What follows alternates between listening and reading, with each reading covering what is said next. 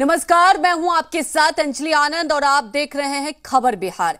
सबसे पहले बात करते हैं मिशन 2024 को लेकर। जी हाँ, आपने अक्सर देखा होगा, खासतौर पर राजनीतिक गलियारों की बात की जाए, बिहार हमेशा से प्रयोगशाला रहा है। और इस बार बिहार के मुख्यमंत्री नीतीश कुमार ने यह बीरा उठाया है, थर्ड फ्रंट की जो बातें होती थी, उसको अब मेन फ्रंट बनाने की बात कही जा रही है।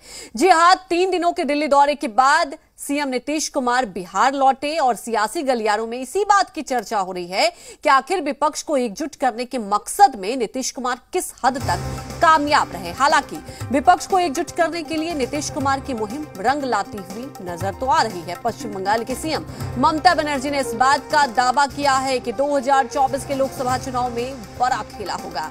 विपक्ष एकजुट होकर बीजेपी को चुनौती देगी और केंद्र में विपक्ष की सरकार बनेगी। हालाँकि ये सवाल अभी भी बना हुआ है कि क्या ममता बनर्जी कांग्रेस और लेफ़्ट के साथ मंच साझा करेंगी?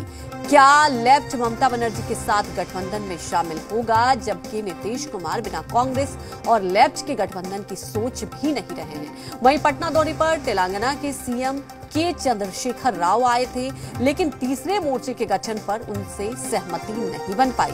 के चंद्रशेखर राव कांग्रेस के बिना तीसरे मोर्चे का गठन चाहते हैं, जबकि नीतीश कुमार इस बात पर राज़ी नहीं है।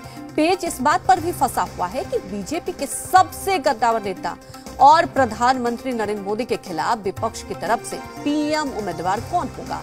इस सवाल का जवाब फ़िलहाल नीतीश कुमार के पास भी नहीं है।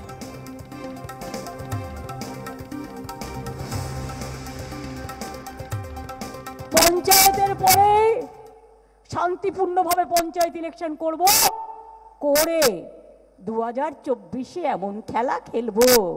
বিজেপি বাবুরা বুঝতে পারবেন, আর খেলাটা বাংলা থেকেই তৈরি হবে।